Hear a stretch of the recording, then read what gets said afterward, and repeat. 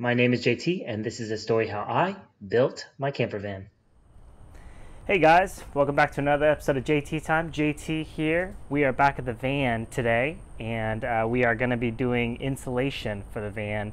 Uh, as you can see, I have done some additional demo work on the van, so all the seats are gone pretty much. Uh, a lot of the uh, top has completely been ripped out as well.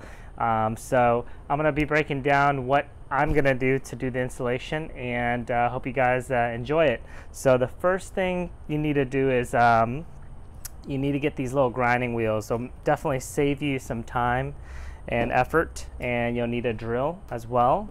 Um, and you'll need some gloves and a respirator. So all I'm really going to do is I'm just going to go and grind all these areas of rust away and then we'll take a shot back and vacuum it all for uh, vacuum it all away. All right. So let's see uh, what that looks like.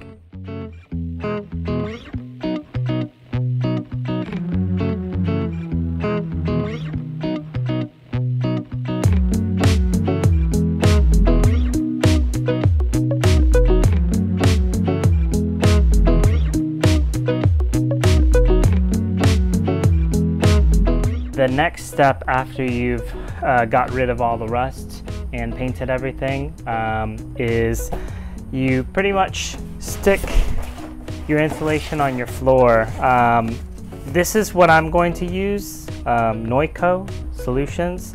This is actually a, uh, a sound insulation material. It's, it's um, closed cell foam and uh, it does kind of two jobs for me. The first is it dampens the sound, which is uh, really, really crazy. The first time I drove this van, it was really, really loud, so I, I know sound's going to be an issue for us, and I wanted something to dampen the sounds that wasn't uh, your typical like butyl or some kind of like peel and stick um, that's a tarry like material. So this was uh, the solution that I came up with. Um, it dampens the sound, but it also insulates for me as well. So I'm gonna lay this down on the floor and then I'll put my subfloor on top of that. This will seal up any holes or penetrations and it'll give me insulation which will be really really nice. So let me go ahead and uh, show you guys how I do that.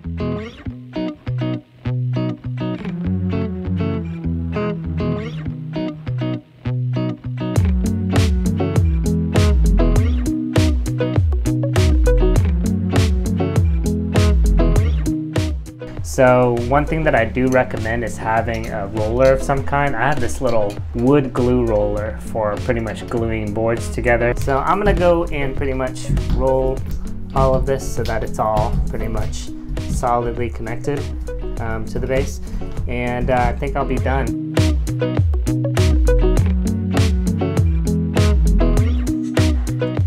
All right guys, so we're here at the end of the episode. Um, I finished insulating the bottom of the van and that was pretty much my goal for this uh, portion of the van. I, I, wanted to insulate the bottom so that I could start putting down the flooring.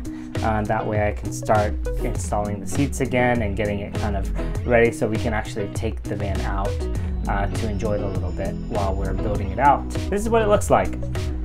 So you, I, I, went up a few inches on this side because my subfloor or my floor is going to be uh, covering up that little section. So I wanted to insulate that too, but pretty much you, you want to cover every single crevice pretty much. So, and then the parts of the floor that kind of need exposing is pretty much here if you're going to be putting back down the little um, step that goes here, the little plastic step that goes here. I want to put that back down, so I wanted those exposed. You of course want to keep your uh, mounts exposed as well for your seats. And then same thing over here. Make sure you work around all the um, things that you need to keep exposed essentially. And you end up with a bunch of mess at the end of the day. So hope you guys enjoy the episode. Hope you learned something and uh, see you real soon here on JT Time.